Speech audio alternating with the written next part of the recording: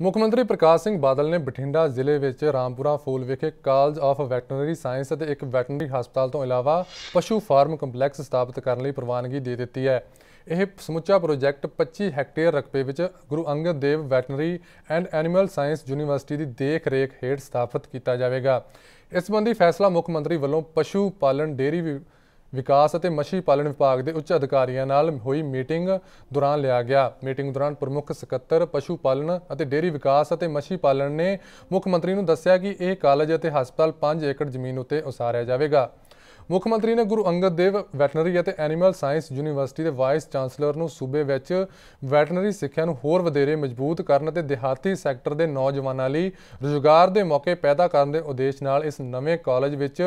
BVSC ਅਤੇ AH degree course ਤੋਂ ਇਲਾਵਾ ਥੋੜੀ ਮਿਆਦ ਦੇ ਨਵੇਂ ਡਿਪਲੋਮਾ ਕੋਰਸ ਸ਼ੁਰੂ ਕਰਨ ਲਈ ਵਿਆਪਕ ਯੋਜਨਾ ਤਿਆਰ ਕਰਨ ਲਈ ਵੀ ਆਖਿਆ।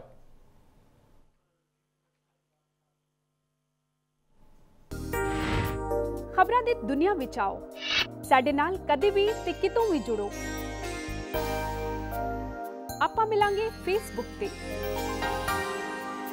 ਅਸੀਂ ਦਿਖਾਂਗੇ YouTube ਤੇ ਸਾਨੂੰ ਫੋਲੋ ਕਰੋ Twitter ਤੇ ਖਬਰਾਂ ਨਾਲ ਜੁੜੇ ਰਹੋ ਦਿਨ ਰਾਤ